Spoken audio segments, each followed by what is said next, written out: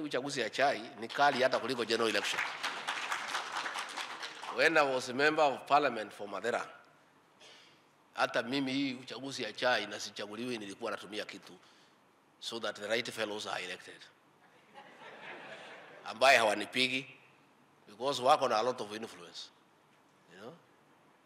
Hapo Ragati Tea Factory na nyinyi watu ya Ragati natafuta nyinyi kwa sababu your cost of production is very high. Na sitaki kwenda kulima nyinyi kwa raia na mnanijua. So I used to get interested in what is happening in Rakati Tea Factory and Dima. And the elections were very heavily contested. Because wakulima wanakupatia their livelihood uchunge. So it's a tight election. So mimi nataka kuheshimu sana nyinyi kwa sababu kuchaguliwa hapana mchezo. Kuchaguliwa hapana mchezo. Mtu asikudanganye PS. PS have you ever been elected? Uchaguzi ni kali. Hii ya chai hii ni kali sana. Si iko namna hiyo? It's tough. It is tough. So ndio sisi kazi yetu ni kuheshimu watu wamechaguliwa, na nyinyi mfanye kazi. Please work hard, change people's lives. Let the farmers say at the end of your tenure that they made the right decision to elect you, then they can re-elect you again. Si tumekubaliana? So sisi naenda huko show, ukipata nafasi pia mkuje kwa show muone ile mambo iko Mombasa. Na hapa Mombasa iko mambo mingi, so mjichunge. Eh?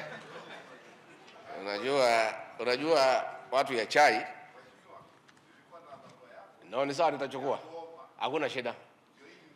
Ah, pea mtu yangu nitaisoma. Asante, nitasoma na nitakujibu. Najua hii pesa ya chai inafuata na watu wengi sana. Hapo kwetu nilipokuwa DU Kirinyaga, mahali naitwa Gichogo, tuko na factory naitwa Thumaita hapo, na iko ingine hapo Kithure. Sasa bonus ikikaribia, tukitembea town tunaanza kuona sura ingine hatujazoea. Eh, naangalia hii sura hii hapana hapa, hii sura hapana hapa, hii sura hapana hapa. Pesa ya mkulima ikifuatwa, so hii pesa ya hii mkulima inafuatwa na kila mtu. Sasa hii mkulima ataenda wapi eh? So we used to have musako kali sana, tukiwidana na hiyo warembo walikuwa nafika wakati ya bona ya bonus. Wazee wamepotea kwa boma mpaka pesa ya bonus iishe. So this tea farmer must be protected because he is under siege from every corner, kutoka chini, kutoka juu. Sasa hii mkulima ataenda wapi? So at least nyinyi tafadhali, wacha watu wetu ya security wang'ang'ane na hiyo watu, isikuwe ni nyinyi mnataka kitu ya mkulima, kwa sababu nyinyi you are the custodians ya kitu ya mkulima wa chai. Wacha tung'ang'ane na hiyo watu wakati ya bonus. When is the announcement for bonus? From next week. Tutakuwa na kibarua. We'll, uh, we'll ask our people, our security people to be on the lookout kwa hiyo watu. Tutafunga mabaa mapema,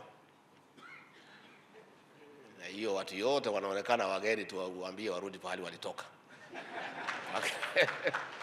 Mpaka mpaka bonus iishe, you know?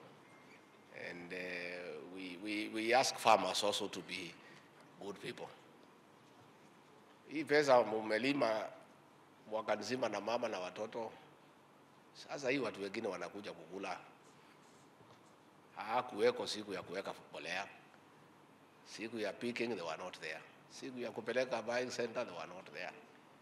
Wanafika tu saa ile pesa imefanya nini? Kwa hivyo we must protect the farmer. The tea farmer is under siege from every corner And we as an administration will do the best to make sure that we protect our farmers.